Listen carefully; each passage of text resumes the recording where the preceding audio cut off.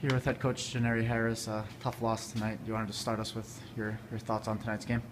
Uh, obviously, obviously, just a, a really disappointing loss. Um, not because of the fact that we lost, but just the way in which we lost. Um, I thought, you know, we we got to make sure that we're bringing consistency to um, to the game as well. I mean, that's something that we've talked to the team about um, all together. But you know, I thought that Stony Brook came prepared, and I thought that you know, credit to them.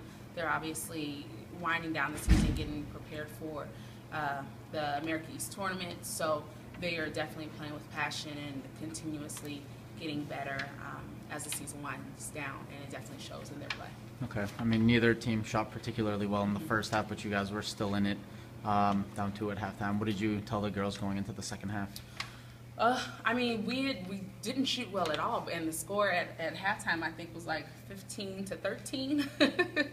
so either really great defense or really bad offense. But um, our our message going into the second half was, you know, to keep playing defense the way we were. Um, I, I thought we were doing a really good job of taking away their, their first and second option and, and getting the people that we wanted to shoot the ball, getting them to take those shots but we gave up a few too many offensive rebounds, so we wanted to kind of focus in on um, limiting the O boards and then taking opportunities to transition. But um, in the second half, I think they they scored uh, two easy, quick shots back to back, and um, from there we just kind of got deflated, and we lacked maturity to bounce back from those um, from those two just four points.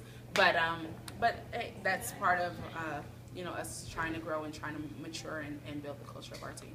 Okay. What are you looking forward to uh, Saturday at the Tsongas Center? You guys are undefeated there so far this year. So. Yeah, no, I'm excited for the next uh, three games that we have. Um, you know, it's just an opportunity to get to get better and to grow. It's an opportunity to get back home and play in front of our um, our home crowd. We only have two home games left, so it should be fun. Okay. Thank you. Thanks.